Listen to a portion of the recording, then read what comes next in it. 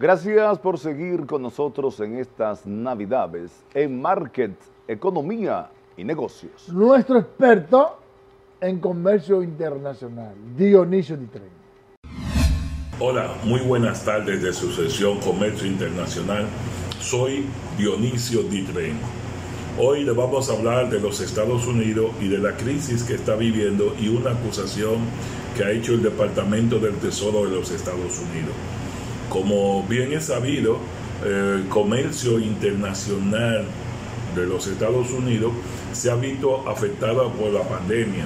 ¿Por qué? Porque no ha habido, no ha habido una normalidad en, en el flujo, en el intercambio comercial entre los Estados Unidos y sus socios, lo que ha creado una desbalanza. Sin embargo, eh, hay, otra, uh, hay otro elemento, no solamente la crisis, la, la crisis del coronavirus, del COVID-19, que fue incrementado por dos elementos. Uno, el primero, fue las elecciones de Estados Unidos en noviembre y segundo, la fiesta del Thanksgiving, que movilizó a millones de personas de una región a otra, de una familia a otra. Esto ha hecho que se incremente. Y si le añadimos ahora que el frío en los Estados Unidos ha crecido, se ha duplicado, ya hay zonas donde hay mucha nieve, donde está cayendo una cantidad considerable de nieve, esto ha hecho que el coronavirus crezca, se expanda.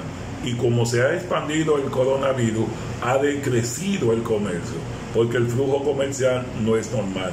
Si a esta crisis del coronavirus le añadimos la crisis política generada por las elecciones de noviembre pasado, en el cual el presidente de los Estados Unidos aún no reconoce el triunfo de John Biden y se niega a iniciar el proceso de transferir, eh, de transferir el mandato, el gobierno.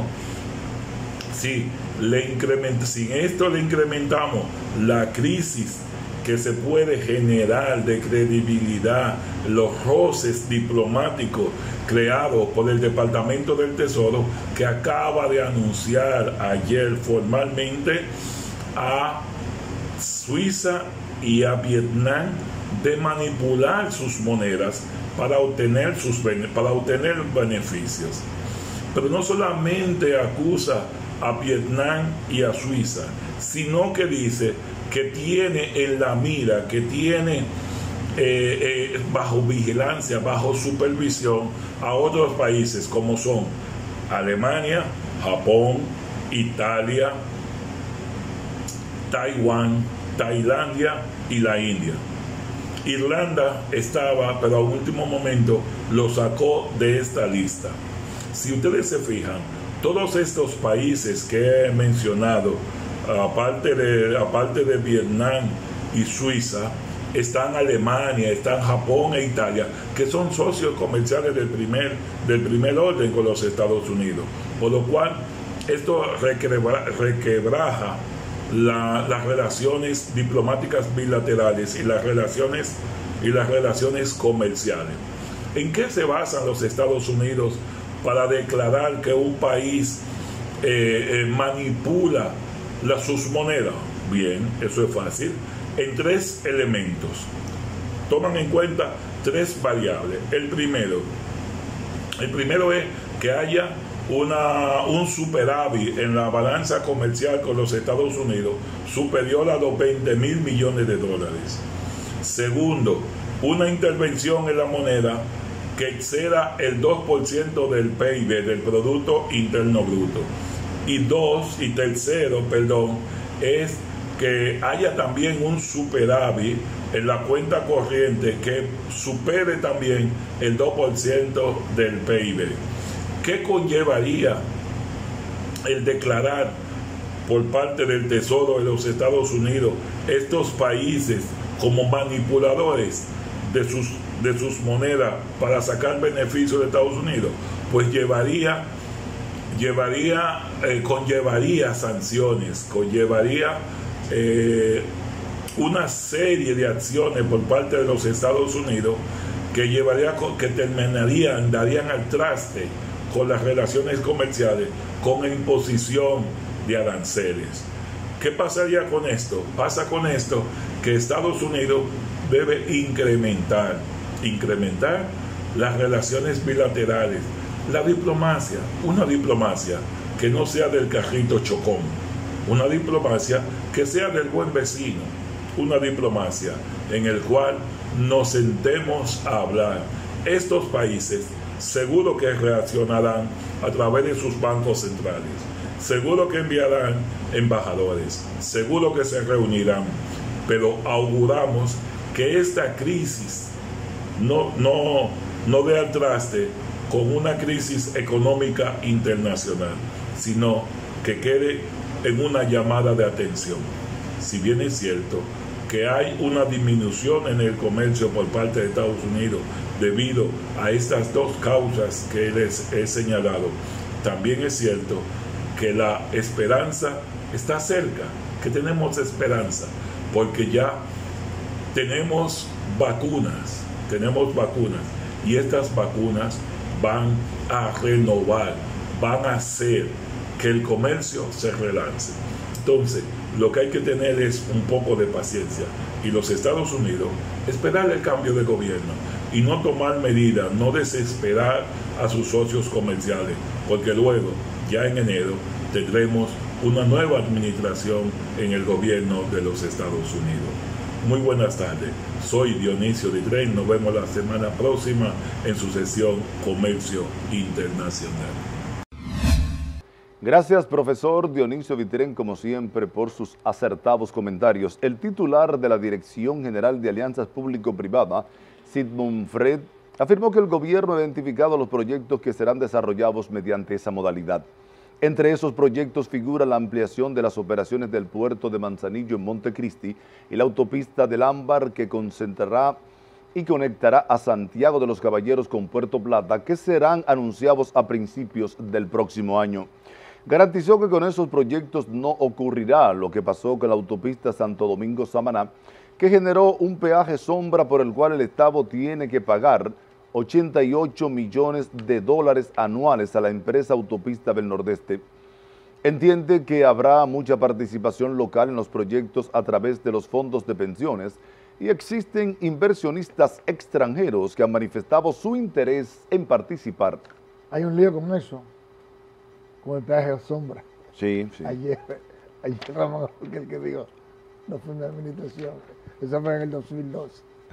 Que por cierto, ¿por qué le quieren poner, pegar eso a, Leonel Fernández? ¿Por qué no fue él? No fue él, claro. Bueno, el director general del Centro de Desarrollo y Competitividad Industrial, Ulises Rodríguez, se comprometió a trabajar a favor de la modernización y desarrollo de los parques industriales y zonas francas de la provincia de San Cristóbal.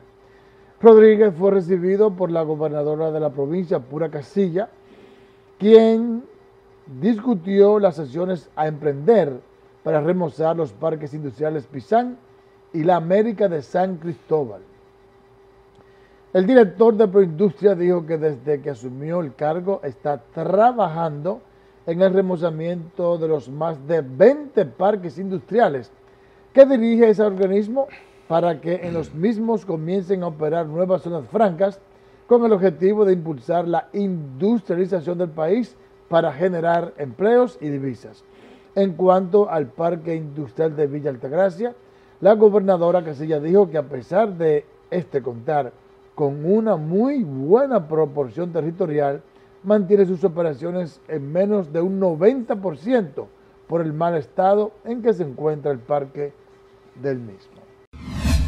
Los ministerios de Economía, Planificación y Desarrollo y Ministerio de la Mujer, en conjunto con la delegación de la Unión Europea en el país, realizaron la segunda mesa de diálogo país de Eurosocial Más, un programa de cooperación para mejorar la cohesión social en los países latinoamericanos.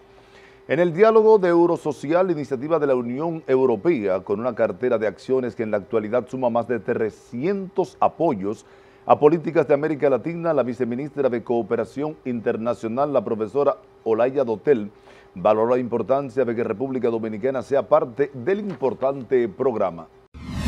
El empleo de América Latina y el Caribe ingresará el año 2021 bajo cuidados intensivos con una tasa de desempleo sin precedentes superior al 10%, a consecuencia de la pandemia que disparó a 30 millones la pérdida de empleos en 2020, afirmó la OIT. El panorama laboral 2020 registra un fuerte aumento de la tasa de desocupación que subirá hasta 2.5 puntos porcentuales en comparación con el año anterior, pasando de 8.1 a 10.6%.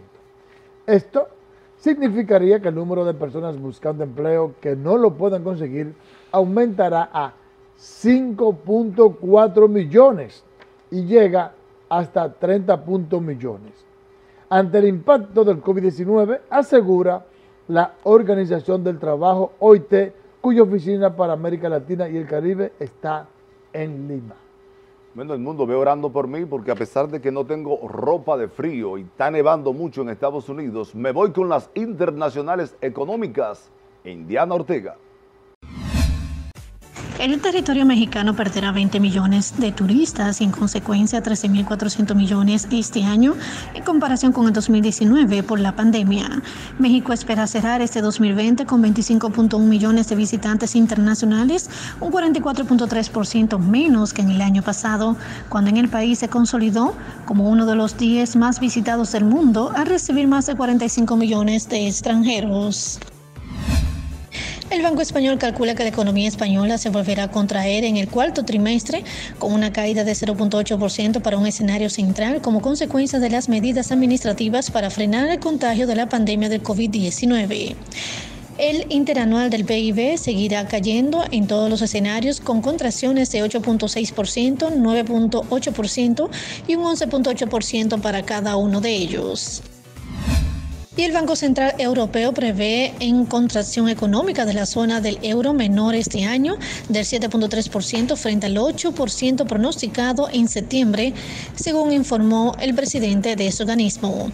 El Banco Central Europeo prevé un crecimiento de un 3.9% en el 2021, del 4.2% en el 2022 y del 2.1% en el 2023. La economía de los países que comparten el euro se contrajo mucho en la primera mitad de 2020 y refotó en un 12.5% en el tercero, aunque se encuentra en niveles muy bajos por debajo del nivel anterior de la pandemia. La Market, Economía y Negocios, Indiana Ortega.